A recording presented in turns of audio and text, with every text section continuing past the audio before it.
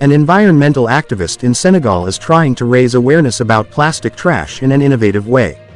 Popularly known as a plastic man, the activist wears body bags cups and other junk material to raise awareness. Much of the Yarakh beach in Senegal's capital is covered with plastic trash. Environmentalist Modou Fall walks on the beach in his trash costume. What he emphasizes is his uniform, he tells children about plastic pollution. And urges them to respect the environment. I urge the government and all the leaders of Africa to wake up to work together. To work in synergy and really fight against plastic pollution.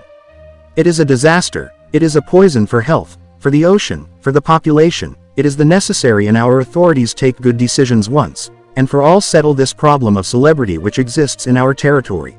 In 2020 Senegal passed a law that banned some plastic products, but if the mountains of plastic garbage across the country are any indication, Senegal is struggling to enforce the ban.